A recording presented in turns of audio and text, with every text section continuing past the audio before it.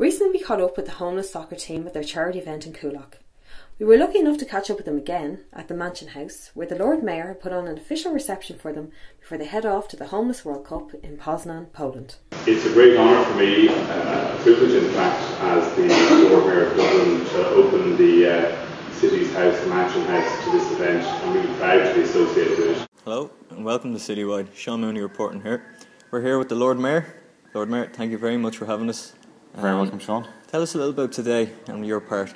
Yeah, well, this evening we had the um, Irish World Cup team from the uh, Homeless Street League in, and uh, they're heading off in a couple of weeks to Poland to compete in the World Cup. So, uh, fantastic whole team was here, eight person squad, and their coach Mick Pender and their fitness coach uh, Graham. So, uh, and uh, Sean Kavanagh from the Homeless Soccer Leagues, and uh, big turnout of I think pretty proud looking relatives and family members. So, uh, real sort of celebration of the achievement of really these these players getting into the Irish team, which is, you know, it's only eight person squad, it's a four side game, and uh, these guys would have been drawn from 500 players all competing in the uh, the All Ireland Homeless uh, Street League.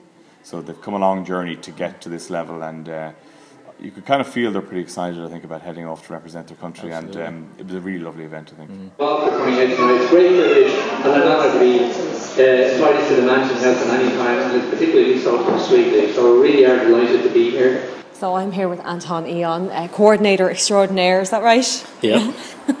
So can you tell us, tell us a bit about the work that you do? Well, um, I'm coordinating the street soccer league down in Longford, County Longford, and uh, I'm down around the Midlands. Like I do Roscommon, I do Mullingar, I do Longford, I do Leitrim, and uh, it's all about working about youth. It's part of my life, exp- um, life experience because uh, I love soccer. It's part of tradition from where I'm coming from. I'm a Cameroonian by nationality, and soccer is very common in the country where I came from. And just on a personal side, what does it mean to you to be able to do what you're doing tonight? Well, it makes me very kind of proud and, and you know, in, in some ways kind of slightly humbled. you know, um, like the discipline they're showing with the training they're doing is, isn't easy, no matter what your situation is. You've got to admire someone who's got to the top eight in their country in a particular category.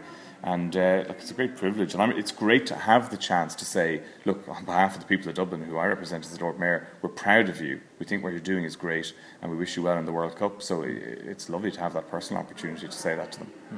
That's great. Thanks a lot for chatting to us. That was great. Delighted. Thank Thank, you. you, Sean.